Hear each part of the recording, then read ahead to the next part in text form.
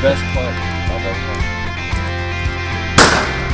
played. It brings everybody together. ATS is all about networking. It's a great networking opportunity, and uh, support the foundation at the same time.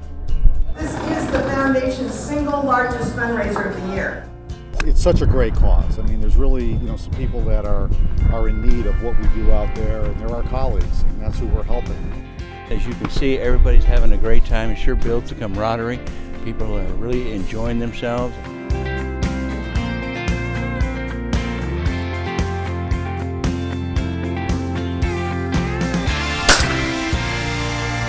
It's great fun again, uh, as it is every year. Uh, it's been, you know, fun to play with uh, the group and to see everybody, and it's a great relaxed environment and a good cause.